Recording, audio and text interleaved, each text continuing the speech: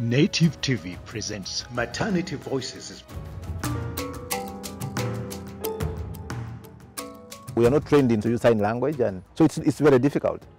So we at times rely on uh, attendants who bring them, but as you know, when you don't get uh, first-hand information from the person, you know, there may be some misinterpretations here and there. So I think uh, maybe the hospital could think of, or government may think of employing some, some of such people to probably help us better in some of those uh, impairments where we may be incapacitated in terms of the best service delivered. Maternity Voices is brought to you by Native Voices International in collaboration with White Ribbon Alliance, WRA Uganda, thanks to support from USAID through East West Management. No woman should lose a life while bringing a life to this world. In Uganda, the high maternal mortality of 326 by 100,000 deaths is preventable if all necessary precaution is taken by, among other interventions, ensuring that all mothers make all the required eight antenatal visits, have health facility based delivery, are delivered by qualified and skilled health providers. Mothers are treated with dignity and respect, have access to health facilities.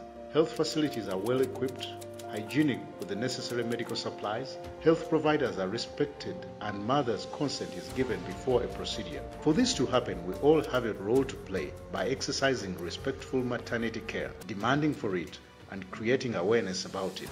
Join us as a partner in the campaign to establish a respectful maternity care. You can start by liking this video, sharing it in your networks, and subscribing to the Native TV YouTube channel for updates on this campaign and other common good initiatives.